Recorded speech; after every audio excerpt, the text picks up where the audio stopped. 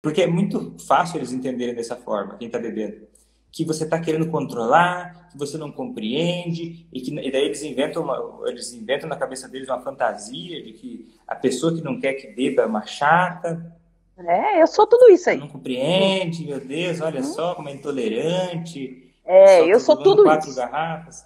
Aí, aí uma sugestão, tá? Ela não é definitiva, mas ela pode ser boa para você começar, tipo uma muleta, assim enquanto você vai começando a se fortalecer. Que é o seguinte: tem que ser uma ideia honesta, porque comunicação não é mentira, mas assim, ela é colocada de uma forma estratégica para você poder informar aquilo que é interessante. E tem que ser honesto. Mas vou te dar uma sugestão que é a seguinte: que o motivo pelo qual você não quer que tenha bebida é porque você tem medo e você se sente mais confortável estando em ambientes que está sem bebida.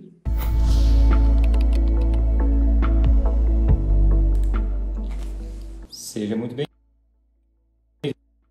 Seja muito bem-vindo, seja muito bem-vinda a mais um 707, um quadro em que eu respondo perguntas ao vivo da minha audiência, diariamente às 7 e 7 da manhã, aqui no meu Instagram, meu nome é Vitor Blasio, eu sou médico psiquiatra. Se você está vendo isso no gravado, passa um pouco adiante. Esse quadro é produzido no Instagram e transmitido simultaneamente no Facebook e no YouTube. Para você ter suas perguntas respondidas, aí sim você precisa participar pelo Instagram. Bom dia! Bom dia! Tudo bem? Tudo jóia, graças a Deus. Como é que você chama? Simone. Tem que achar um lugar Simone. bom para mim para falar que tá escuro em casa. Tá ótimo.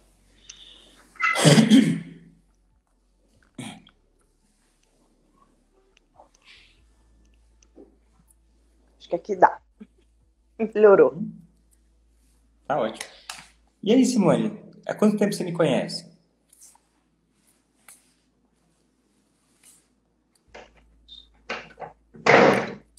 Simone? Oi. Há quanto tá tempo você bem? conhece? Tô, né? Há duas semanas. Há duas semanas? Há duas maravilhosas semanas. Por quê? Porque... Porque eu tô, nós, eu tô saindo de uma crise, eu e meu marido estamos saindo de uma crise ai, de bebida. E tipo assim, eu no, no, já estava no auge da, do desespero de não saber o que fazer. E aí eu comecei a pesquisar, pesquisar e caiu uma propaganda sua no meu no meu Instagram. Na verdade, no meu Telegram. E aí eu resolvi olhar. Hum. Falei, gente, o que, que, né, que, que é isso? E ouvi, é, assisti umas, umas lives, né? Assisti uns posts seu.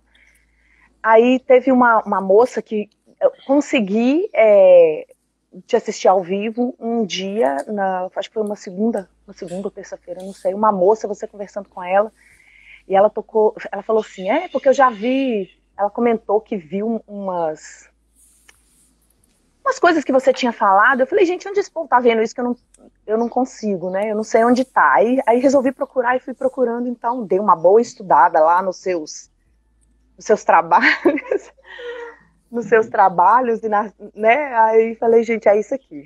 É esse, eu acho que esse é o caminho. E a, o que eu consegui entender mais ou menos, porque é bem confuso no início, né? E o que eu consegui entender mais ou menos, eu já apliquei imediatamente, tipo, no dia seguinte.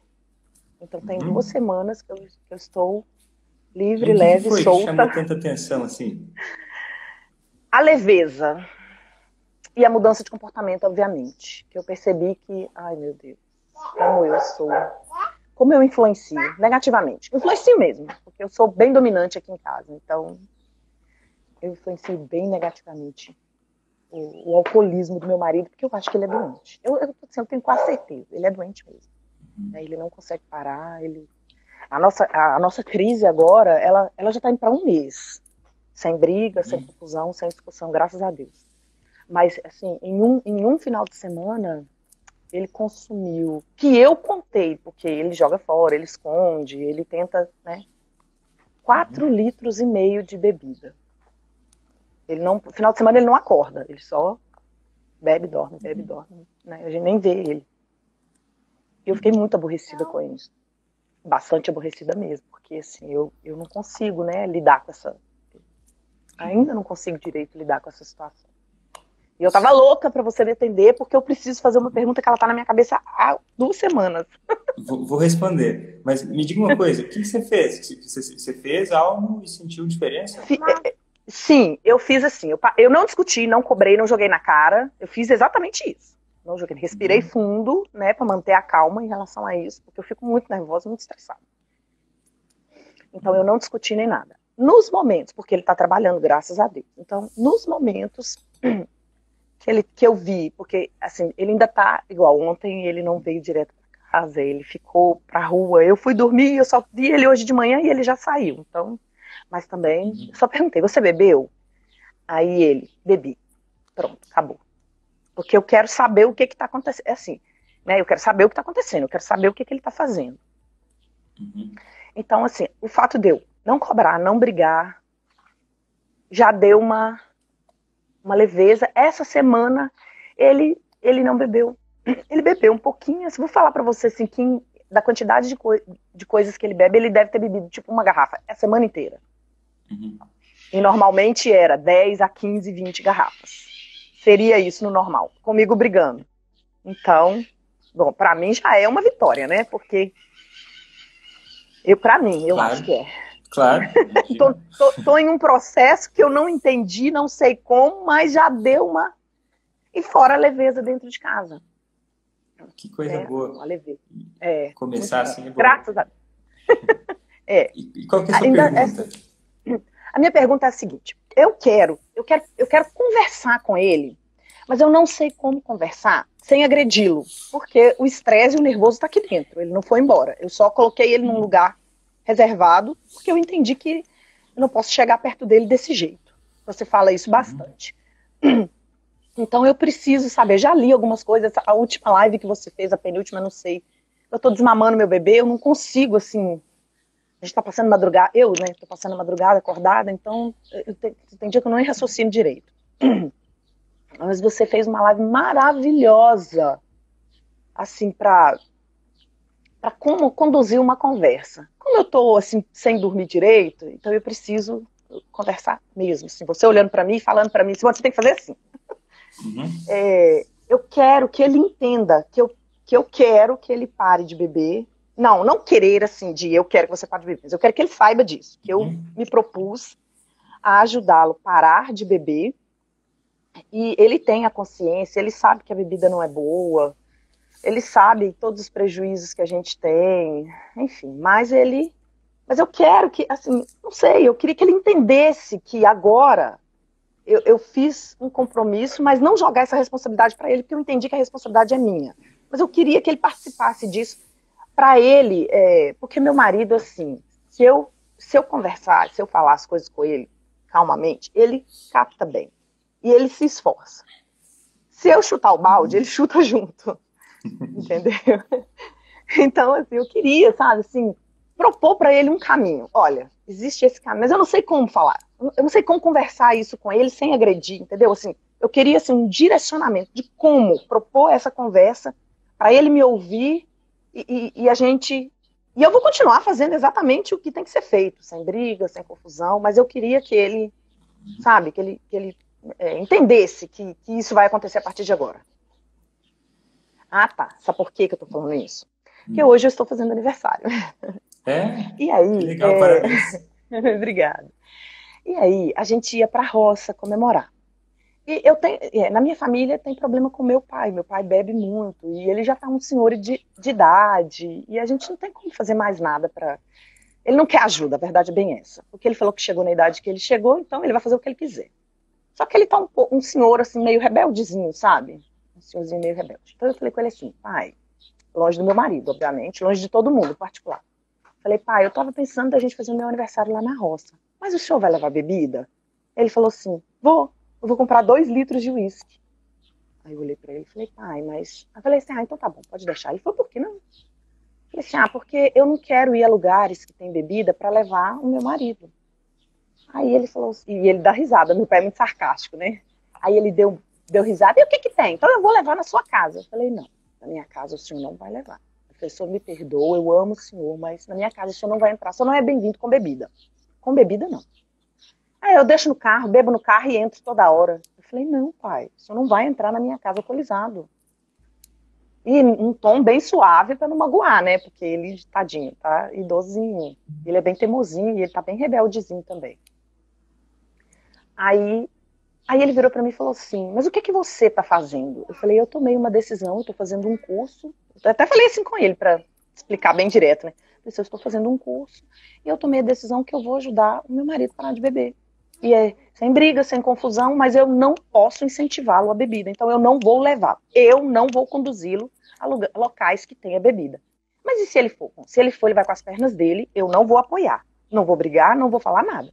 Mas eu não vou incentivar. A decisão que eu tomei é essa. Aí minha mãe falou assim: então você nunca mais vai à festa? Eu falei: nesse momento não. É a decisão que eu tomei. Nesse momento eu não vou beber mais, porque eu gosto de um vinho. Já acabou. Eu falei: tirei tudo. Eu falei: chega, eu não aguento mais. Se é para tomar a decisão, então vamos fazer o negócio certo. Então eu falei, a partir de agora, não tem mais vinho que eu amo, que para mim tá sendo assim, né?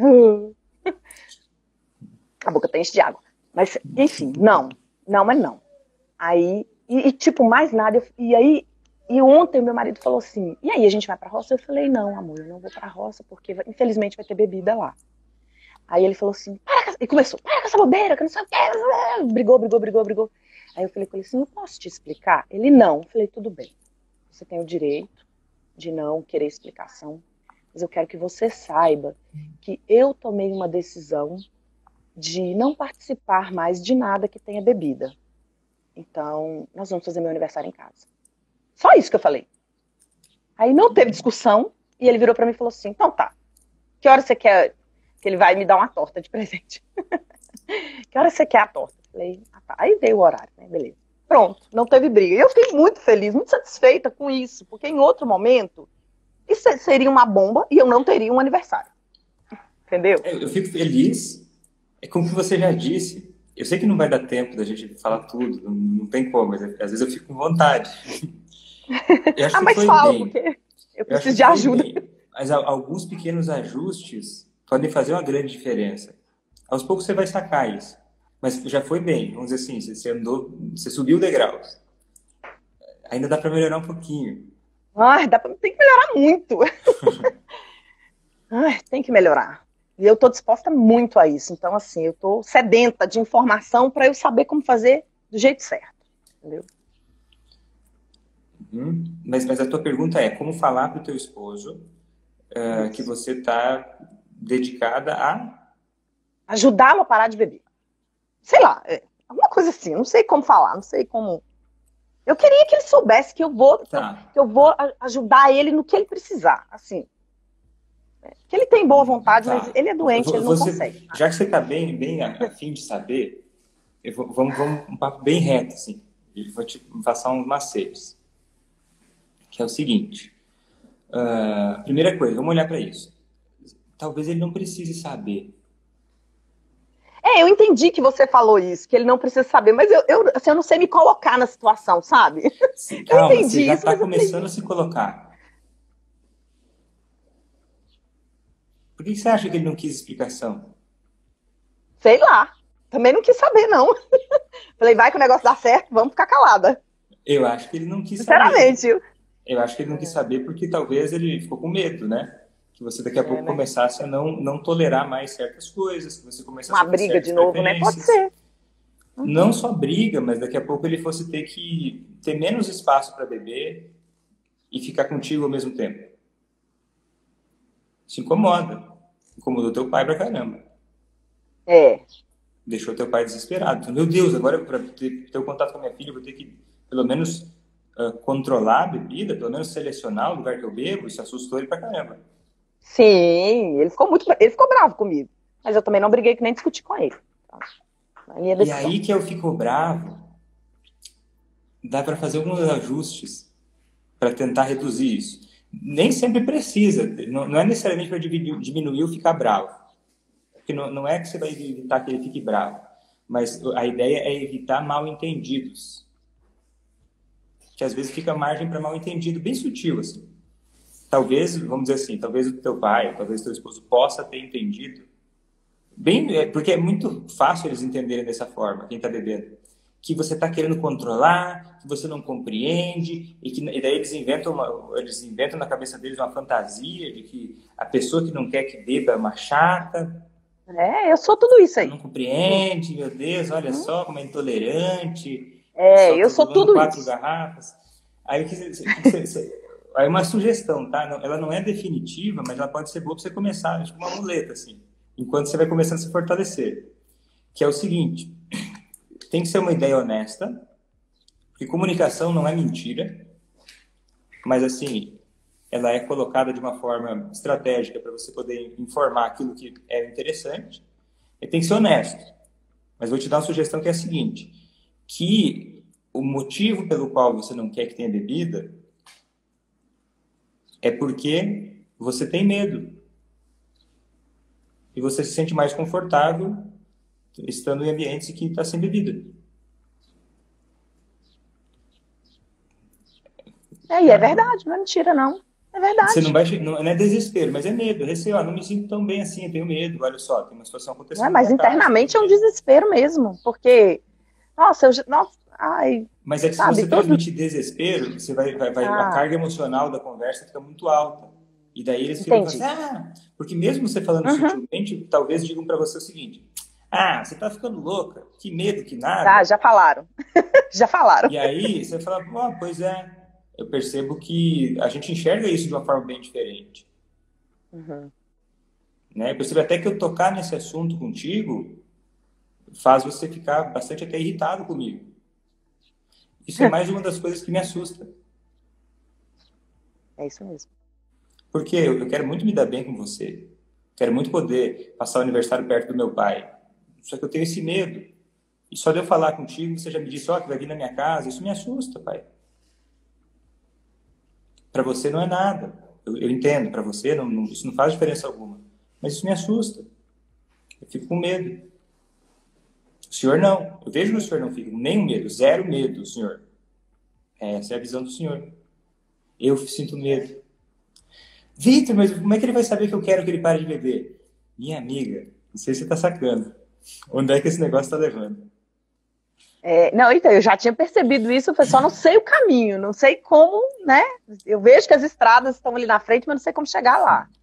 Mas, mas uhum, por exemplo, você falando isso e começando. E daí, beleza, ó, meu aniversário já é na minha casa.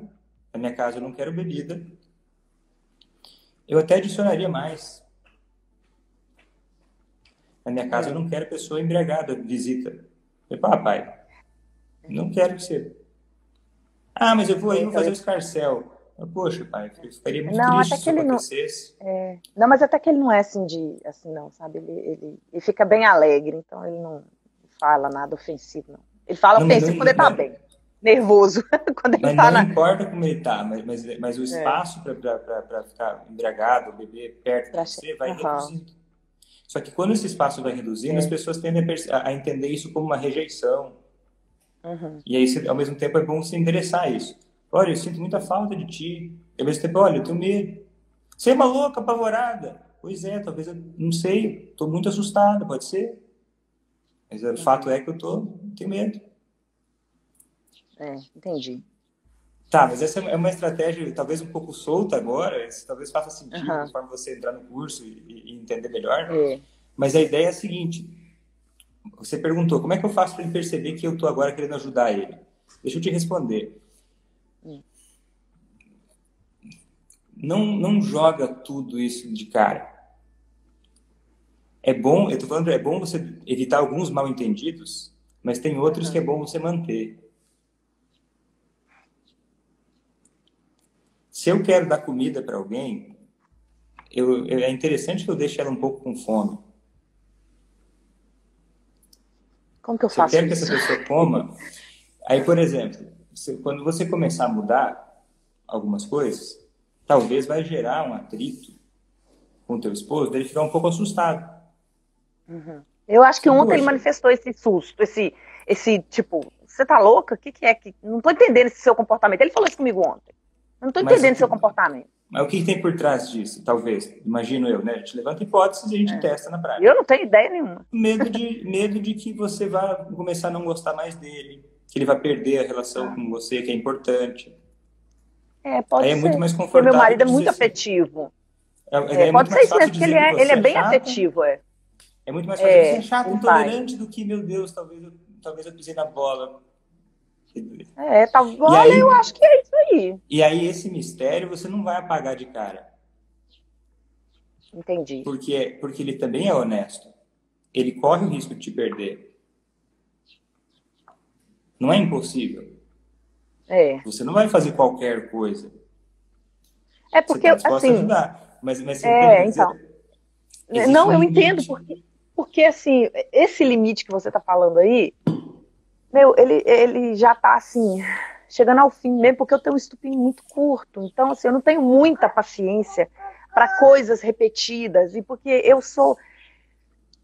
A, a, a, minha pessoa, eu sou bem determinada. Se eu tomar a decisão de que não vou fazer mais, eu não vou fazer mais, pronto, acabou. Então, comigo não tem essa resenha de ficar pensando a vida inteira e levar muito tempo para tomar. Não, eu tomei a decisão, ponto final, ninguém tira isso de mim. Mas essa é a minha determinação. E ele não é assim. E realmente, assim, eu tô ficando cansada, eu tô ficando sobrecarregada. Eu tô com um bebezinho, olha, não repara a base, um bebezinho que eu tô desmamando agora, que já tá quase um rapaz. Uhum. Desmamando. Aí eu não tenho ajuda, porque, assim, até questão mesmo financeira. A gente veio há pouco tempo de outro estado, então a gente está recomeçando aqui. Aí, assim, fica tudo nas minhas costas. Eu não posso contar com ele. Eu não quero isso. Não foi para isso que eu casei. Né? Isso, e é por eu, isso mesmo que você está buscando precisa entender se comprometer como, como... em tudo, né? Então, a casa, com a... Então, essa é a ideia. Então, quando você for passar a ideia de que você quer ajudar, você vai passar a ideia de que você se importa, que você quer ajudar, que você tem suas preferências. Você não precisa dizer para ele, tipo assim, olha, eu vou até o fim, eu vou fazer o que for necessário. Você vai fazer o que for necessário dentro do que você tem controle, dentro é. do, né, do seu comprometimento. Do meu alcance, né? Então, alcance, mas assim, é, porque a ideia é gerar comprometimento nele. Por exemplo, aqui, deixa eu te dar uma ideia. Eu estou sempre fazendo muito conteúdo. Lives 707, uhum. né, respondendo perguntas. Mas aqui no conteúdo, vamos dizer assim, o conteúdo geral, o conteúdo gratuito, ele tem um limite. Aí chega, um, uhum. chega uma encruzilhada, que a pessoa vai decidir. Olha, eu quero avançar ou não quero avançar. Então, eu, eu, eu, faço questão de deixar no ar essa tensão. Uhum. Tipo, até onde o Victor vai me ajudar? Porque eu não vou ajudar tudo. Uhum. A não ser que você se comprometa. Você entende? Uhum, a não ser que entendo, você se claro. Porque o quê? Porque é o comprometimento que a gente precisa para grandes mudanças acontecerem. E o comprometimento muitas vezes vem de atitudes. Uhum. Você dá, você ajuda bastante, né? você faz o seu melhor, mas olha, quero ver você se, se, dedicar também. Não é só eu que vou trabalhar, mas assim, eu quero tem que ser uma coisa mútua, né? Tem que ser uma coisa, ó, quero ver uhum. você também é, se comprometer com isso. E aí, essa é uma ideia para você deixar, ó, eu quero que ele saiba que eu vou ajudar. Então você pode dizer para ele, olha, eu estou disposta a te ajudar nisso. Eu vi que você está com dificuldade de beber, eu estou disposta a te ajudar nisso. Né? Eu estou até buscando informações, né? Eu estou até pensando em entrar num curso para ver se, se eu aprendo melhor como te uhum. ajudar. Inclusive, até eu quero ver se você pode me ajudar a entrar nesse curso. Uhum. Se puder botar ele no meio. Aí ele pode dizer que não. Vai. Mas você é, pode falar, olha, certeza. te dou essa oportunidade de me ajudar. Uhum. Se você não me ajudar, ok. Eu estou mostrando o meu comprometimento. E eu estou eu, eu, eu tô vendo, o meu comprometimento é esse. Ele vai achar que é um monte de besteira no começo, talvez. Qualquer coisa, né? Porque ah, deve achar sim, claro. Mas aí você vai falar, olha, eu estou fazendo isso, mas é por mim, né? Eu quero melhorar o meu jeito de me relacionar com você, porque a minha relação contigo é importante. E eu percebi que eu tenho agido de formas erradas durante muito tempo e eu não quero mais te tratar dessa maneira. Quero melhorar para poder fazer o nosso relacionamento funcionar. Entendi, muito bom. Por acaso eu acho que o álcool muitas vezes atrapalha. Você já me disse que atrapalha também. Se ele falou, você usa o que ele falou. É que você também falou isso, né? Daí pensando nisso. E misturando tudo isso, eu comecei a ver, olha, eu comecei a perceber que existe um jeito de te ajudar. E eu estou interessado e vou fazer isso acontecer. Só quero que você saiba que, né, que eu estou disposto a te ajudar nisso, porque para mim é importante poder viver com você. E meu, eu tenho interesse real que você pare de beber. Uhum. Aí, não, como assim? Você está louca? Eu sei, eu sei que te, isso te assusta nesse momento. E a minha ideia não é te assustar. A minha ideia é poder ser uma parceira tua. É, mais ou menos eu tinha falado. É, não, então, mais ou menos eu tinha falado que, que assim, eu sou. Porque uh, parece que eu sou a pessoa que eu, todo mundo é companheiro dele. Eu sou a única que quero destruir ele. É, eu falei, gente, né? Mas que compreensão é essa? Parei de tentar fazer ele entender que é o contrário. Quer dizer, sei lá se ele entende. Eu acho que ele fala isso para implicar mesmo, não sei, né? Eu entendo assim para evitar confusão e ficar magoada. Mas assim, mais ou menos eu falei com ele, eu falei, olha, como eu, eu, eu, te falo há bastante tempo, eu sou sua companheira. Sou eu que estou do seu lado aqui todos os dias. Né? Por enquanto, eu estou do seu lado. Por enquanto. Mas não sei, dependendo assim, né, de como as coisas continuarão, não sei se essa parceria continua, porque eu não aguento mais. Eu falei assim com ele. Mas ainda não sabia direito, né? Isso, sei lá se eu só, posso jogar essa com, carga nele. Só cuida com o tom de ameaça. Não tom de ameaça. Por exemplo, Mas eu, eu tenho um tom ameaçador normalmente, porque, ô oh, Jesus. É porque o tom de ameaça ele tem que ser real só se você for cumprir ele. Ó, eu tô, convicta que eu vou cumprir naquele dia. Ó, dia 3 de agosto no, é, é, o dia que eu não vou fazer mais nada. Tá convicta. É, mas é Aí, de repente, mas, mas isso não costuma ser mas eu claro. Estou com, eu estou com um problema muito sério em relação a isso, porque já vem, assim, há um tempo no meu coração de realmente tomar uma decisão. Mas é aquilo que eu falei, porque se eu tomar essa decisão, acabou, sabe? Então, por isso eu estou procurando mais uma ajuda, porque tudo do, do jeito errado, obviamente, porque não deu certo, né?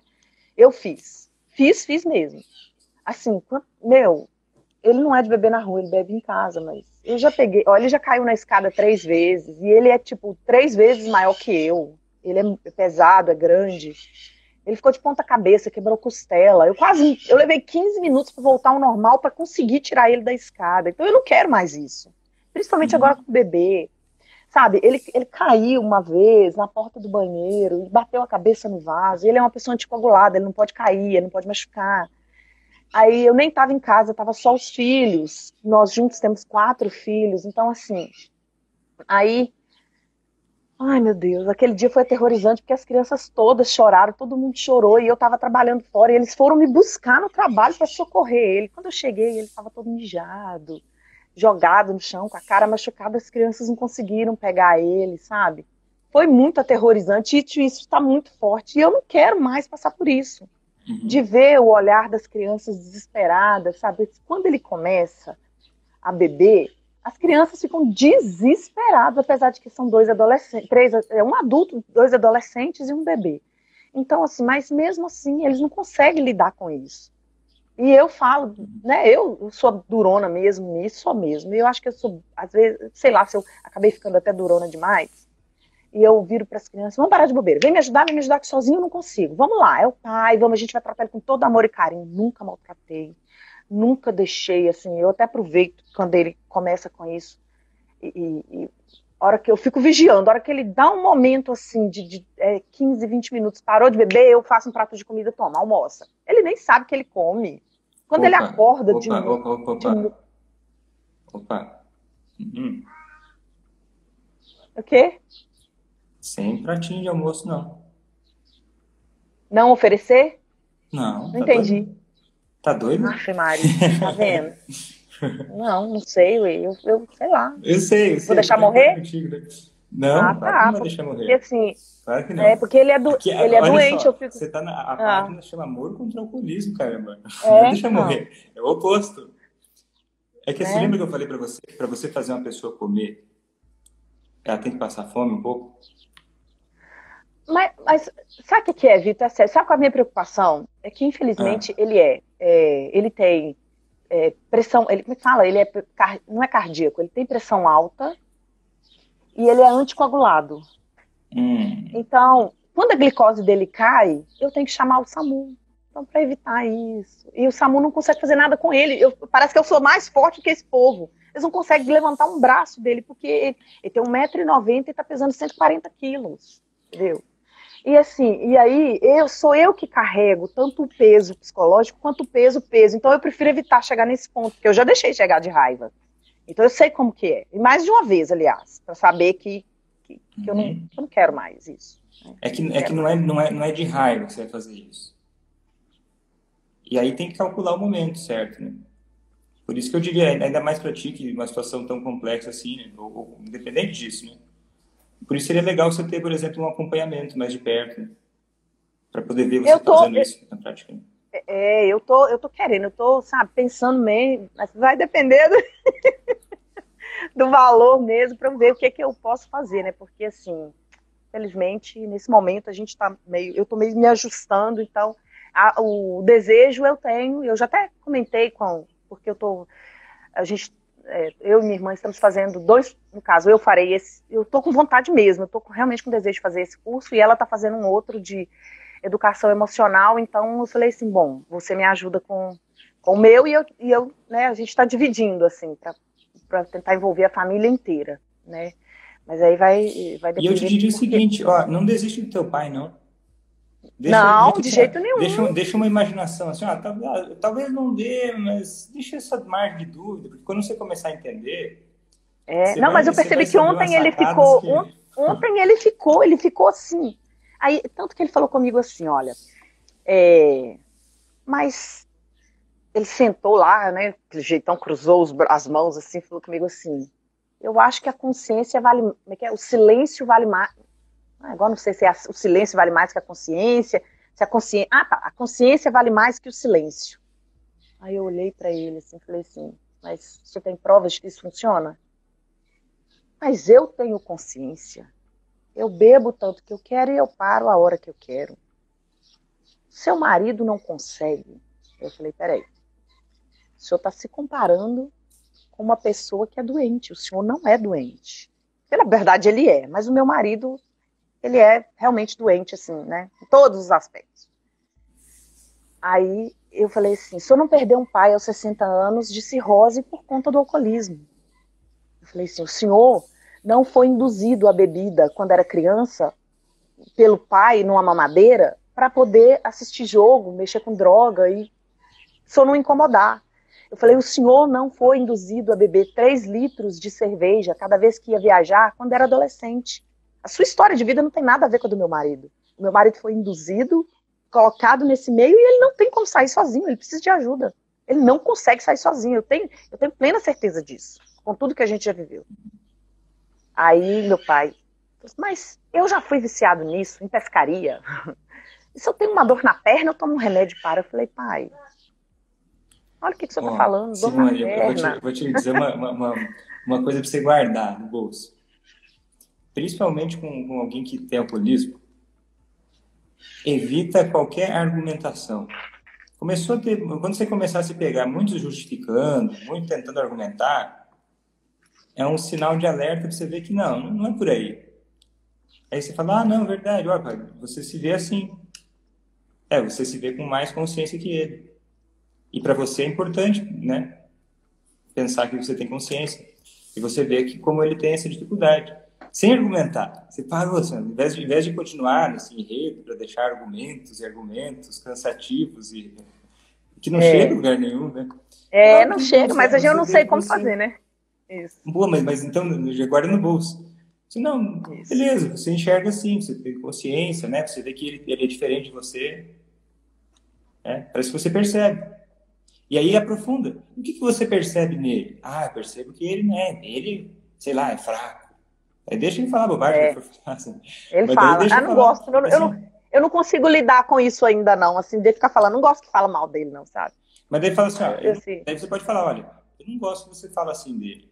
Eu me sinto triste de é. ouvir você falar isso mas, dessa forma. Mas meu pai é muito gostaria, sarcástico. Se eu falar que eu, eu, eu falar que eu não gosto, aí é que ele fala. Eu não posso deixar chegar pois nesse ponto, é, sabe? Pai. É que você vai ter que treinar um pouquinho mais, mas aí você vai ter uma malandragem assim, de, de como lidar com esse sarcasmo. É, ainda, não tô, ainda não estou emocionalmente preparada para isso, não. É que é tipo um judô consigo, psicológico. Eu fico, eu fico realmente muito nervosa. Você vai pegar umas ferramentas que é tipo um judô psicológico para poder contornar isso e fazer virar o jogo, assim, assim. Né? É, tá bom. eu tô precisando. Simone, acho que eu te respondi? Sim, respondeu. Eu vou. Porque ah, eu vou tentar. Não precisa, ele, ele, ele não precisa saber necessariamente. Ele pode saber que você está tá buscando, ó, eu estou buscando uma coisa para mim, porque nossa relação é importante, porque você é importante para mim e porque eu me preocupo. Ah, você está exagerado, isso é loucura, isso é besteira. É, ok. Entendi. Para mim é muito importante isso. Ah, mas não tem problema, eu paro a hora que eu quiser. É. Eu, eu sei, você já, você me falou isso. Você pensa dessa forma. Entendi. E aí você segue fazendo. Porque, porque não é falando, não é falando que você ajuda, né? É fazendo, né? É. É.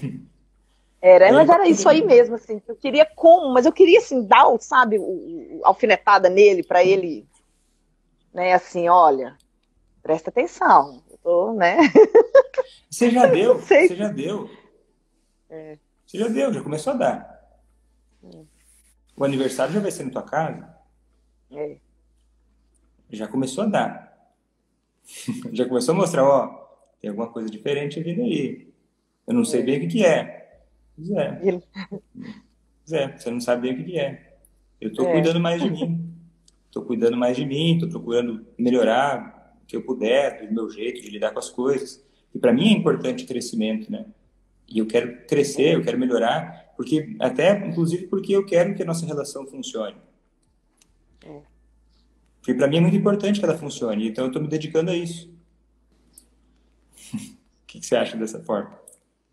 Ai, é, eu tenho que, eu vou ter que anotar, porque assim, eu, né, meu espírito é muito agitado.